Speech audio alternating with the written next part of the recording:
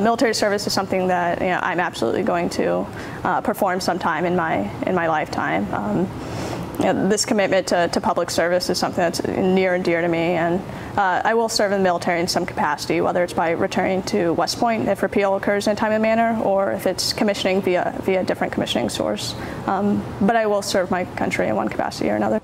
Former West Point cadet Katie Miller on this show last year before President Obama signed the repeal of Don't Ask, Don't Tell. At the time, Cadet Miller had just resigned her commission at the U.S. Military Academy ahead of her junior year there. If this country ever did away with the ban on gay and lesbian troops serving openly, Ms. Miller told us she would ask West Point to take her back. Congress passed the repeal. Three months after that interview, President Obama signed it into law on December 22nd. And so Katie Miller did, in fact, reapply to West Point. Yesterday, West Point told her she could not come back because of Don't Ask, Don't Tell. Quote, at this time, former cadet Katie Miller has not been offered readmission to the U.S. Military Academy. Uh, while the Don't Ask, Don't Tell policy was recently changed and will be repealed, the effective date has not yet been determined. Ah, the effective date. You may recall some cumbersome asterisks that went along with the excitement around the repeal of Don't Ask, Don't Tell in December. Congress passed it and the president signed it, but it rolls out slowly. There's some kind of training, and then there's certification that it is safe to repeal. Then randomly, 60 days of just waiting even after everyone says we're ready and the training's happened, but before the repeal takes place. That random 60 days when nothing happens except more discrimination, even though the training has been done and everybody's all ready, that little 60 days of nothing but you still not having equal rights for no operational reason, that was a little present from Senator Robert Byrd before he died. The senator doing his part for your civil rights even after death. At this point, the most optimistic guess for the repeal timeline to actually repeal the policy is September. Um, in the meantime, there's the matter of Katie Miller's education. She has been at Yale since leaving West Point.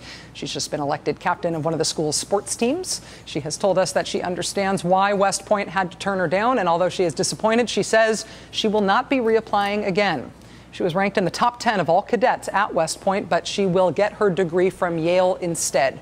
She says she then plans to join the military through officer candidate school. Katie Miller released a written statement yesterday that said, quote, I harbor no resentment toward the military and I look forward to the day they deem it appropriate for me to put the uniform back on.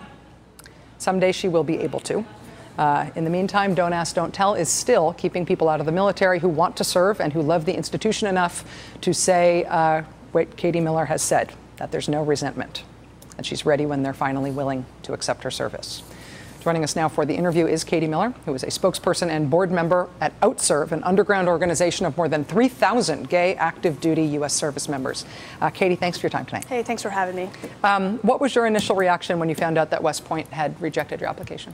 I, I, I was absolutely devastated. Um, I mean, yeah, I, I know I'm going to serve in the military in some capacity. This is this is a given. Um, but I was really hoping that I could return to West Point and do it uh, via that commissioning route. Um, yeah, it, this is something that you know people ask me all the time. Uh, why did you reapply? Do you even want to go back? And the answer is yes. West Point is something that's very much part of me and my personality, and um, it, it's a shame that I won't be returning.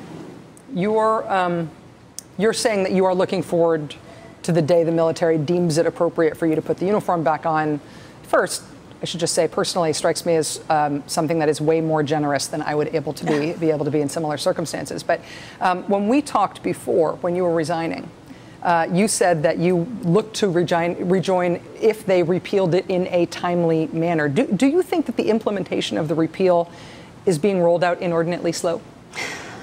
I mean, I think the military I think the training, um, you know, has no real purpose, and that was a political scheme uh, in order to, to appease uh, the Joint Chiefs of Staff um, when they said that they, they needed uh, th this training, uh, you know, to learn to serve with gay service members, um, you know, despite the fact that there gays have been serving for, for centuries. Um, so I, I, don't think there's a purpose really to the repeal implementation training, but I think the Department of Defense is trying to expediently uh, implement the repeal. When you have been talking to um, active duty service members who are gay, people who are still in the forces. Um, now, through your work in OutServe, what are you hearing from them about gay soldiers' perspective on this training happening? How, how is the training going? It's about 100% dependent upon unit leadership. Um, if, if, the unit commander uh, comes out and says, you know, this is what we're what we're doing, we have equal respect for everyone, and there's no uh, foot dragging involved, uh, then, then the repeal is, or, and then the training is going uh, is just going fine. Um, you know, it, overwhelmingly, I think uh, both straight and gay service members are saying that you know this is much ado about nothing. Um, it, this is not a problem, and this will not be an issue. Um, however, been, there have been um, you know reports of, um, for example, there's a, there's an officer at West Point who seemed to be doing some foot dragging during um, during the training, and little did he know there were three uh, gay cadets uh, sitting in, in, his presence. Um, so it, it's really just dependent upon the unit leadership.